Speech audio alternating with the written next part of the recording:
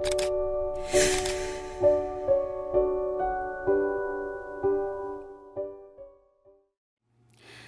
want to talk today about something simply incredible. I want to read to you from St. Luke's Gospel, chapter 5, some verses where a miracle had taken place. In fact, it was an incredible miracle. Here's what the word says One day, as he was teaching, Pharisees and teachers of the law who had come from every village of Galilee and from Judea and Jerusalem were sitting there. And the power of the Lord was present for him to heal the sick. Some men came carrying a paralytic on a mat and tried to take him into the house to lay him before Jesus. And when they could not find a way to do this because of the crowd, they went up on the roof and lowered him on his mat through the tiles in the middle of the crowd right in front of Jesus. And when Jesus saw their faith, he said, Friend, your sins are forgiven. The Pharisees and the teachers of the law began thinking to themselves, Who is this fella who speaks blasphemy? Who can forgive sins but God alone? And Jesus knew what they were thinking, and he asked, why are you thinking these things in your heart? Which is easier, to say your sins are forgiven, or to say, get up and walk? But that you may know that the Son of Man has authority on earth to forgive sins, he said to the paralyzed man, I tell you, get up, take your mat, and go home. And immediately he stood up in front of them, took what he had been laying on, and went home praising God. Everyone was amazed and praised God. They were filled with awe and said, We have seen remarkable things today. We have seen remarkable things today. Let me ask the question when is the last time we experienced God doing something wonderful, something strange and incredible? Something from the human perspective was almost unthinkable. The onlookers after the healing said, We have seen remarkable things today. We've talked about faith many times in our churches. I go back to after Jesus had calmed the storm, and the disciple says, What kind of man is this that even the winds and the waves obey him? Something incredible happens when Jesus gets involved in the equation. We have often prayed, the Christian church, for the evidence of the supernatural God. In this past year, we've been particularly praying against the COVID. We have prayed for revival and healing and restoration in the church. We have been praying that God's church, as the Bible says, will be without spot and wrinkle.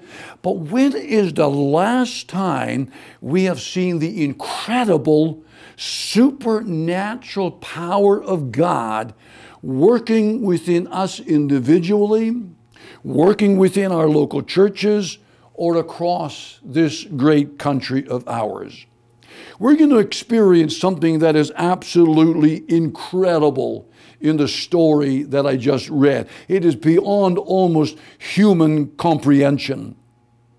We're going to look in on an incredible miracle that took place in a typical home at that particular time. The house was nothing fancy, but it was comfortable and offered the family a place to live.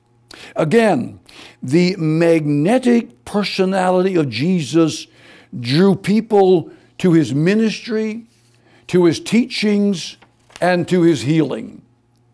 The Bible says that the Pharisees and the teachers of the law, they came from all over the villages that were near. And, and their intentions, they were not necessarily to gain truth or insight into spiritual things, but to question Jesus and to find fault with him. In fact, one translation says that they were simply sitting nearby, waiting for the opportunity to question Jesus. Well, a battle is about to develop. And while Jesus continues his teaching, nobody has any idea of what's going to take place next. And the Bible says, and I read it earlier, and the power of the Lord was present for him to heal the sick. And this paralytic was not even brought into the presence of Jesus yet. And the Bible amazingly says that the power of the Lord was present for him to heal the sick. He was always ready to do the incredible, the miraculous, and the supernatural. It is interesting that the Holy Spirit at Luke pin words that prepares us for a battle between right and wrong, between law and grace, between Christ and Satan. The power of God was upon his Son before the sick were even presented to him. And his teaching was continuing in the midst of this. And the Bible says that they came to get him into the house, and the translation says they tried to push through the crowd.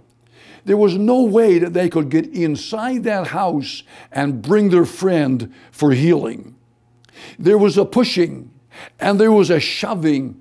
There, there was a, a, a, a hassle and a hustle to get into that home. Maybe there was competitive forcefulness. But this paralytic must get into the very presence of Jesus Christ. You see, they came a long way and they were not about to lose a battle. They wanted to experience an incredible miracle. And so the Bible says of Jesus earlier ask and it will be given to you, seek and you will find, knock and the door will be open. For everyone who asks receives. Praise the Lord. He who seeks finds, and to him who knocks, the door will be open.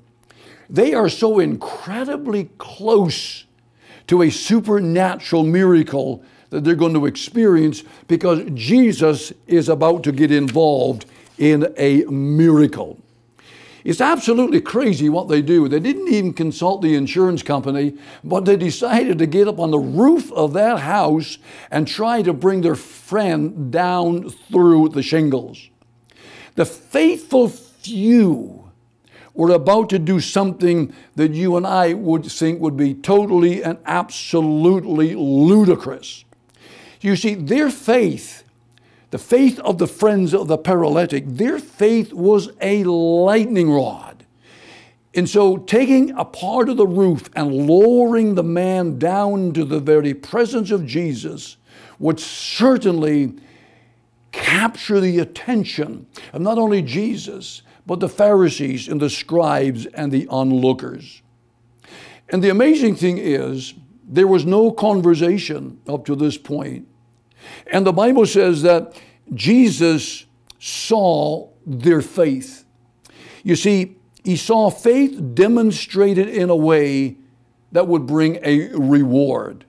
And right in front of him is a man who seemingly fell from the sky and, and was astounded but what must have been a demonstration of faith by the faithful few. And when Jesus saw their faith, he said, I quote, Friend, your sins are forgiven. They didn't ask for healing. They didn't ask for the forgiveness of sin. The fact that the man lay there on a mat told the heart of Jesus that this is a man in need and he forgave him of his sin immediately. And when Jesus spoke, the Bible says, and I quote, the Pharisees and the teachers of the law began thinking to themselves, Who is this fellow who speaks blasphemy? Who can forgive sins but God alone? And Jesus is God. And Jesus has the capacity and even the audacity to forgive and to heal people. You see, the theology of the Pharisees was that if a person is sick, then that person is sick as a result of sin. And as long as that person is in sin, then healing cannot happen. Why, even the disciples of Jesus noted this strange doctrine. And, and when they saw a blind man from birth, they asked of Jesus, Rabbi, who sinned, this man or his parents, that he was born blind? It was instilled into their heart that sin and sickness rode on the same bicycle. And Jesus forgave the man of his sin because he had the ability to forgive this man of his sin.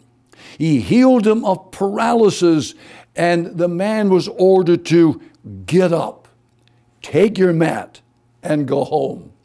Incredible? Absolutely. Supernatural? Totally. Beyond our comprehension? You bet your bottom dollar but yet it was an opportunity for God through Jesus Christ to demonstrate supernatural abilities out of a sense of love. Jesus had nothing to prove. This was not political.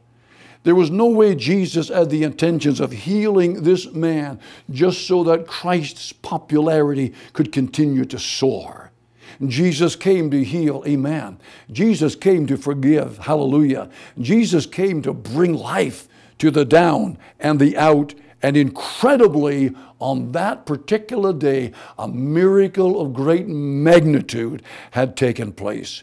What an incredible experience. I would even imagine, I would think in my heart, in my limited human understanding, that even the friends lowered Jesus or lowered the man down through the roof to Jesus, they themselves must have been incredibly impressed by what they had just experienced. Their faith had been rewarded. And the Bible says of the miracle, everyone was amazed and they gave praise to God. The Bible says they were filled with awe and said, We have seen remarkable things today. Back to the beginning of my little presentation. When is the last time we have seen something supernatural, something totally incredible that only God can do? You know, the most incredible thing that God can do today is to bring life into your heart. John 10 and 10, Jesus said, I am come that you might have life and have it more abundantly. Ladies and gentlemen, what's your need today? Is your need to have a personal relationship with God through the Lord Jesus Christ? Then come and act by faith. Do you have a need of healing? Are, are you going through difficult times?